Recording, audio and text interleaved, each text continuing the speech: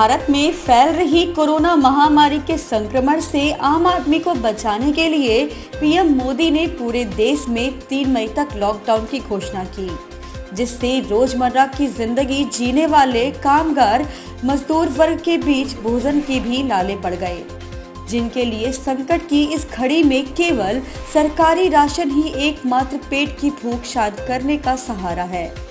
यही नहीं, पीएम मोदी ने इन गरीब मजदूरों एवं बीपीएल कार्ड धारकों को इस महामारी के दौरान निशुल्क राशन देने का फरमान जारी किया।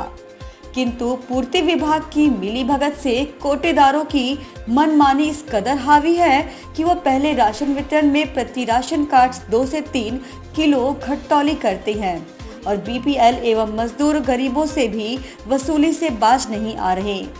किंतु राशन कार्ड धारकों द्वारा बार बार कोटेदार की शिकायत करने के बावजूद भी जिम्मेदारों द्वारा इनकी मनमानी में नकेल कसने के लिए कोई प्रभावी कदम नहीं उठाया जाता, जबकि कई बार कोटेदार राशन कार्ड धारकों के बीच मारपीट की नौबत भी आ जाती है। लेकिन जिला प्रशासन अभी भी मौन बनी हुई है, जबकि शासन द्वारा गरीब व मजदूर वर्ग के कार्ड धारकों को निशुल्क राशन का आदेश दिया गया है। आपको बता दें कि बांदा ज़िले में अधिकांश कोटेदार सप्लाई इंस्पेक्टर व पूर्ति विभाग के अधिकारियों से मिलकर गरीबों को मिलने वाले निशुल्क खादान पर डाका डाल रहे हैं और गरीब मजदूरों पर धौस दिखाकर कम खादान दे रहे हैं। ताज़ा मामला बांदा ज़िले के नारायणी तहसील के ग्राम बेलापुरवा अंश मुतियारी का है, जहाँ का दबंग कोटेदार ममता त्रिपाठी, पति भरत त्रिपाठी गाँव के गरीबों को मिलने वाले निशुल्क खादान पर डाका डाल रहा है। कोटेदार द्वारा गाँव से 6 किलोमीटर दूर ग्रामीणों को बुलाकर राशन दिया जा रहा था। साथ ही जॉब कार्ड धारकों व अत्युदय कार्ड धारकों को रुपए लेकर व खादान में कटौती की जा रही है। लॉकडाउन में ग्रामीणों को 6 किलोमीटर दूर बार बार नारायणी जाने पर पुलिस की पिटाई का शिकार होना पड़ता है। जिसके कारण ग्रामीण खादान लेने भी नहीं जा रहे। कोटेदार द्वारा प्रति यूनिट दो से तीन किलो गरीबों के खादान से कटौती की जा रही है। ग्रामीणों ने शिकायत की है कि कोटेदार द्वारा अपने रिश्तेदारों को जो संपन्न है, कि अत्योदय राशन कार्ड जारी किए गए हैं, जो सरासर नियम विरुद्ध है, जबकि गाँव में गरीबों का अन्योदय कार्ड नहीं बनाया गया।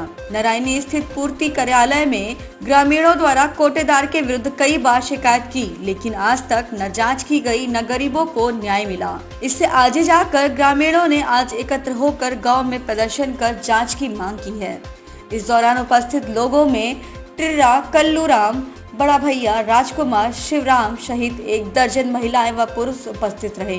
बांदा से संवाददाता उमेश यादव की रिपोर्ट। बाबा क्या नाम है आपका? टिर्रा। कहाँ रहते हो? बेलापुर होगा।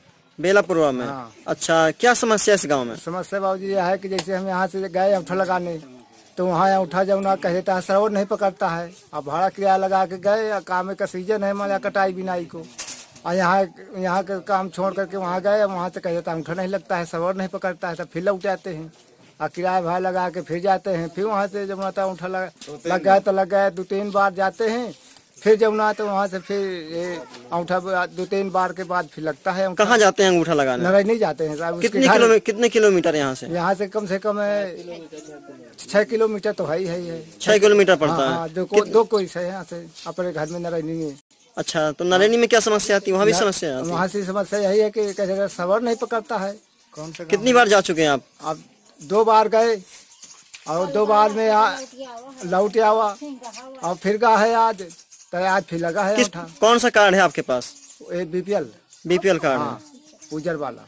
ठीक। भैया क्या नाम है आपका? हमारा नाम शिवराम है। कहाँ रहते हैं? बेलापुरा में रहते हैं। अच्छा किस प्रकार की समस्या है यहाँ लोगों समस्या ये है कि दो बार अंगूठा लगाने गए।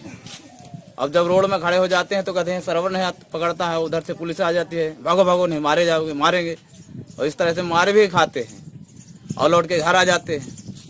और हमारे छः यूनिट हैं दो यूनिट काट दिया है। दो महीने हो गए।